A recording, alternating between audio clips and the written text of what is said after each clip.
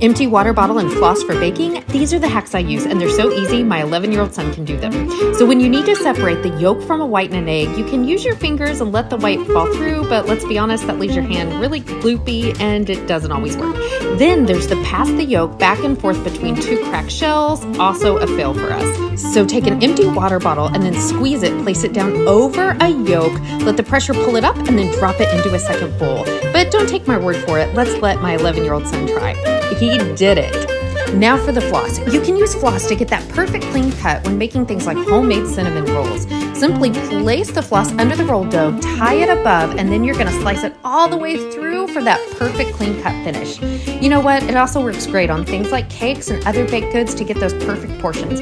You're never gonna wanna use a knife when slicing these things again. Oh, and for cinnamon rolls, I always bake them in a muffin tin to get them perfectly done. Happy baking, and don't forget to sweeten the season with Splenda.